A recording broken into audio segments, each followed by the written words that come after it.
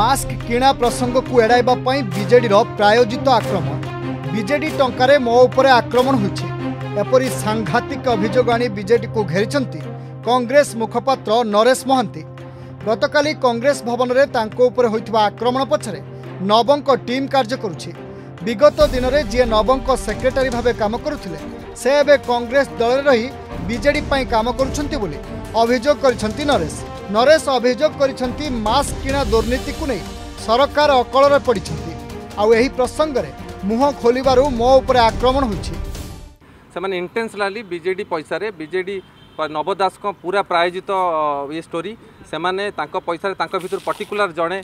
প্রকাশ মিশ্র C ସିଏ ଯିଏକି ଆମ ପୂର୍ବରୁ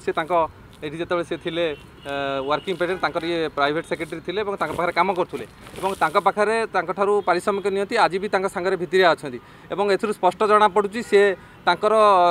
ତାଙ୍କ ଆକ୍ରମଣର ଇଏ ହେଉଛି ମୂଳ କାରଣ ସେପଟେ କଂଗ୍ରେସ କନ୍ଦଳ ହାଟରେ ପଡ଼ି ଦାଣ୍ଡରେ ଗଡ଼ିବାରେ ଲାଗିଛି ଗତକାଲି କଂଗ୍ରେସ ଭବନରେ କିଛି ପ୍ୟାନେଲିଷ୍ଟ ଓ ମୁଖପାତ୍ରଙ୍କ ଉପରେ ଆକ୍ରମଣ ହେବା ସହ ଭଙ୍ଗାରୁଜା ହୋଇଥିଲା ଆଉ ଏହି ଘଟଣା ପାଇଁ ପିସିସି ସଭାପତି ନିରଞ୍ଜନ ପଟ୍ଟନାୟକଙ୍କ କାର୍ଯ୍ୟକୁ ଦାୟୀ କରିଛନ୍ତି ବରିଷ୍ଠ କଂଗ୍ରେସ ନେତା ଶୈଳେନ୍ଦୁ ମଜୁମଦାର ଶୈଳେନ୍ଦୁ କହିଛନ୍ତି ଏହି ଆକ୍ରମଣ ପଛରେ ବିଜେଡି କିମ୍ବା ବାହାର ଦଳର ଲୋକଙ୍କର ହାତ ଥିବା ଅନୁମାନ କରାଯାଉଛି ସେପଟେ କଂଗ୍ରେସରେ ଯେ ଦୁଇ ଗୋଷ୍ଠୀ ହାତାହାତି ହୋଇଥିଲେ ଏହାକୁ ସ୍ୱୀକାର କରିଛନ୍ତି ବରିଷ୍ଠ ନେତା ତଥା ବିଧାୟକ ସୁରେଶ କୁମାର ରାଉତରାୟ ତେବେ ଦଳ ଭିତରେ ଯାହା ସମସ୍ୟା ଥିଲା ତାହା ସମାଧାନ ହୋଇଛି ବୋଲି ସେ କହିଛନ୍ତି ପ୍ୟାନେଲ ଲିଷ୍ଟ ନେଇକି ଅସନ୍ତୁଷ୍ଟ ଅଛି ସତ ମୁଁ ଯେଉଁ କହିଲି ବାହାର ଦଳର କି ବିଜେଡ଼ିର କିଏ ଆସି କରିଥିବେ ଯେତେବେଳେ ନଈ ପଡ଼ିବୁ ଯେତିକିବେଳେ ବିଧାଟି ମାରିବୁ ସେତିକି ବେଳେ ଯେତେବେଳେ କଂଗ୍ରେସ ଦଳରେ କିଛି ଗୋଟେ ଏଭଳିଆ ଘଟଣା ଘଟିବାକୁ ଯାଉଛି ତାକୁ ଆଉ ଟିକେ ଘିଅରେ ନିଆଁ ଢାଳିବା ପାଇଁ ଏଇଟା ଅନ୍ୟ ଦଳର କାମ ହେଇଥିବ ବୋଲି ମୋର ଆଶା ନରେଶ ଜଣେ ସିନିୟର ଲୋକ ତାଙ୍କ ପ୍ରତି ସମ୍ମାନ ରହିଛି ତାଙ୍କୁ ଯଦି କିଏ ଫିଜିକାଲି